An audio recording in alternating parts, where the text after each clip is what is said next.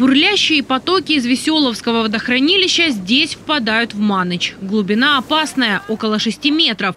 У берега, конечно, помельче, но купаться все еще опасно. Официальный пляж только один и совсем в другом месте. Чтобы не было соблазна нырять в неположенных местах или, не дай бог, заброшенных башен, для школьников и проводят уроки безопасности.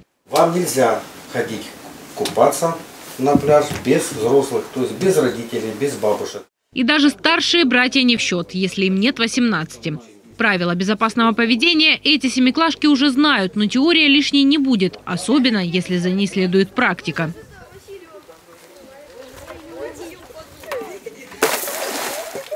Ребят учат бросать спасательный круг, а дело это не из легких. Весит он несколько килограммов, так что подросткам приходится бросать двумя руками. Веревка мешала. Первый раз веревка мешала, Да. а во второй? Во второй нормально кинул, дальше всех.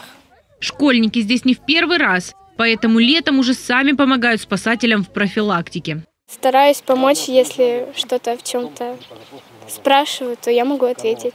Начинают там заплывать за боки, могу сказать, так нельзя.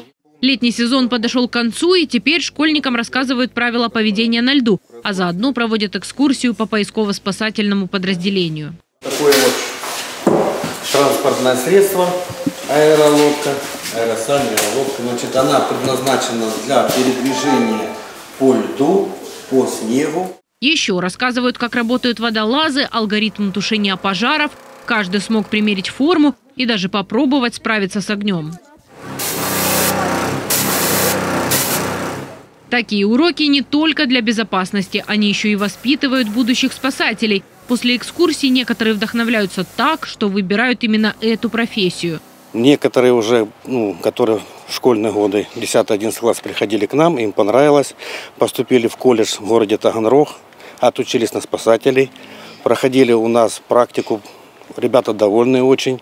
Ну и, конечно, главный результат работы – за весь летний сезон ни одного нарушения правил детьми замечено не было. Как и прошлой зимой, на опасный лед никто не выходил. В этом году по области спасатели провели со школьниками больше 250 занятий.